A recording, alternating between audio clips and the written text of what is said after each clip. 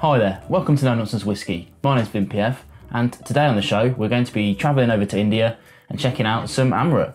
Before we get into that, I'd just like to say uh, thanks to everyone who watched my 1000 subscriber videos. I uh, did miss out two channels, two small channels I did want to shout out, and I forgot to mention them in the last video. So uh, they are JDC Drinks and the Spirit Safe. One's from Australia, one's from Canada. I'll put links in the description below and maybe some cards.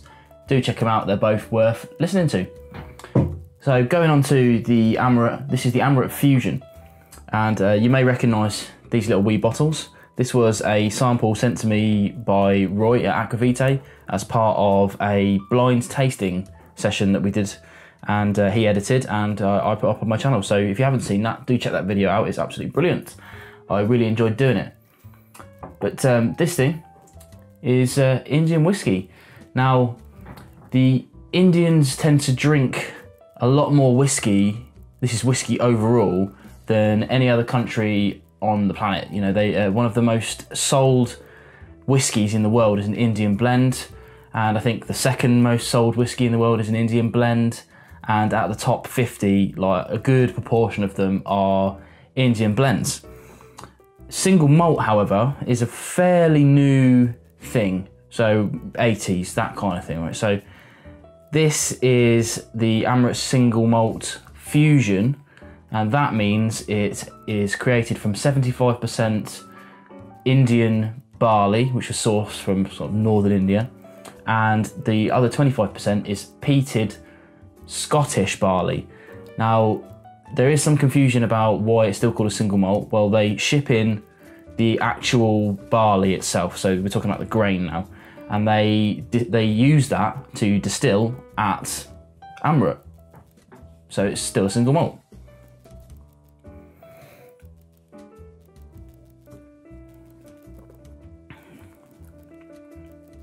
It's a no age statement.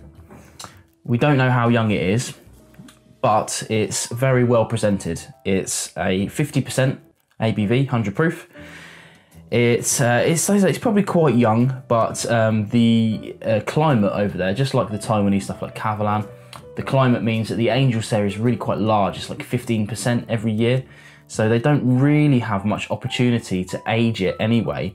But because of the drastic difference in temperature between day and night and the seasons, the aging process happens a lot faster than it does in a cold climate like Scotland or elsewhere. It's uh, it's kind of similar to the kind of bourbon effect, you know, in, in Kentucky. It's it's hot there in the summer, and it really does force the liquid into the wood and back out again in, in the night time.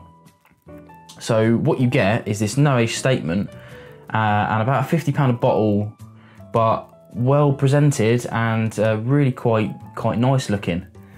Let's uh, finish talking about the whiskey and actually try some, shall we? So, straight away on the nose,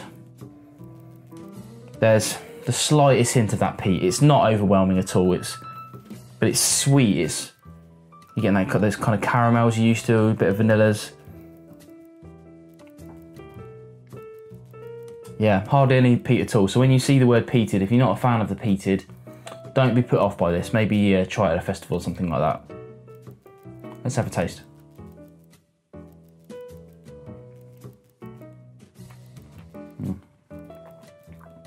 You do get more of that peat on the tongue, that's for sure.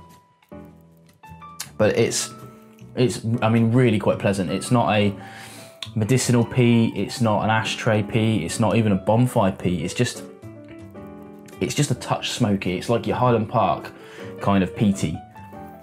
Less than that even. So even though it's 25% peated barley, the actual final peated isn't 25% peated at all. It's it's much much less.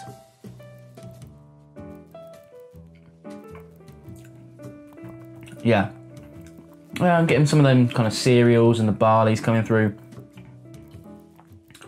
There's kind of like on the finish, which is like medium to longy, quite nice, quite spicy.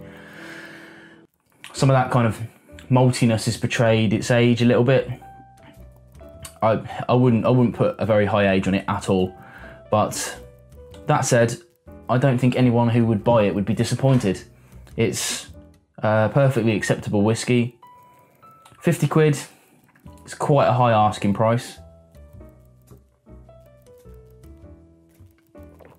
But I genuinely don't think I'd be disappointed if I bought it. I think I might buy a bottle and then move on to something else. But it's just a nice, well balanced, well rounded dram. If it were maybe £10 cheaper, it would be an absolute steal. Uh, 50 quid, it's pretty good, let's say. Mm. Highly enjoyable. And yet another thing to scratch off on the old map up here, which is superb. Hopefully, more of that's going to go as the year goes on. Thanks for watching the video. It's been an absolute pleasure to try the uh, Amrut Fusion. Thanks to Roy Aqvavitae for that. Don't forget to like, comment and subscribe. And of course, if you do want to support the channel, I have a Patreon page that's in the description below. Please do check it out and consider donating. Thank you.